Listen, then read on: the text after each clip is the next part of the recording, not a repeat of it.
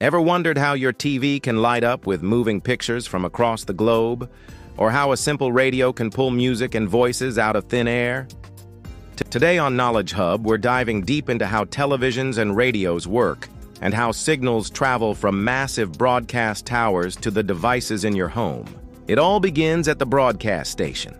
Microphones and cameras capture sound and images, which are converted into electrical signals. These signals can't travel far on their own, so they're encoded or modulated onto carrier waves. Radios use AM, amplitude modulation, where the wave's height changes with the sound, or FM, frequency modulation, where the spacing between waves changes instead. Television, especially in the early days, used similar modulation methods, but with far more information. Each frame of video was broken into lines, turned into an electrical signal, and combined with sound before being broadcast. But how can these signals cover an entire city, country, or even beyond?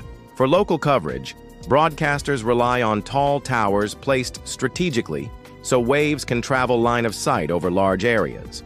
To cover entire nations, networks of relay towers repeat and amplify the signal, ensuring that mountains or distance don't block reception. FM and TV signals typically use the VHF or UHF bands, which can travel long distances but may still need repeaters in remote regions. Satellite technology took this even further. Broadcasters beam signals to orbiting satellites, which then retransmit them back down to dishes on rooftops, covering entire continents with a single beam. This is how global networks like CNN or BBC World News can be received almost anywhere on Earth. At your home, a receiving antenna, sometimes a simple telescopic rod on a radio or a rooftop antenna for older TVs, catches those waves. The receiver's tuner selects one frequency while filtering out others, which is why turning the dial or pressing a channel button lets you tune in to different stations. Each channel is essentially a different slice of the frequency spectrum. The signal is then demodulated, stripping the audio or video information off the carrier wave. For radios, that electrical signal drives a speaker, turning it into sound. For televisions, early sets used cathode ray tubes that scanned electron beams across a screen coated with phosphorescent material, line by line, to reconstruct the image. Color TV added separate signals for red, green, and blue, blending them to produce full-color pictures. Modern systems push this further. Cable television replaced antennas with coaxial or fiber optic cables, sending signals directly to your home with almost no interference. Digital TV compresses audio and video into data streams, packing dozens of high-definition channels into the space that once carried just one analog signal.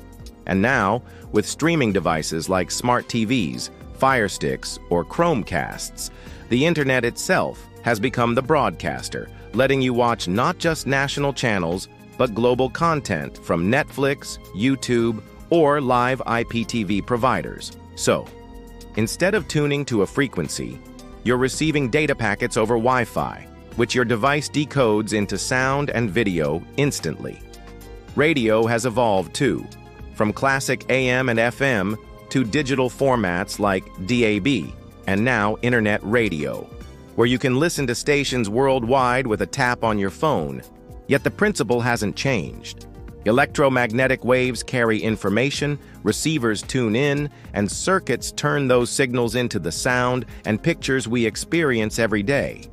So the next time you flip through channels, adjust the radio dial, or stream a show from halfway across the world, Remember the extraordinary chain of technology from broadcasters to antennas, satellites, cables, and beyond that makes it possible. If you have enjoyed learning how everyday tech hides incredible engineering, make sure to subscribe to Knowledge Hub for more deep dives. And as always, stay curious.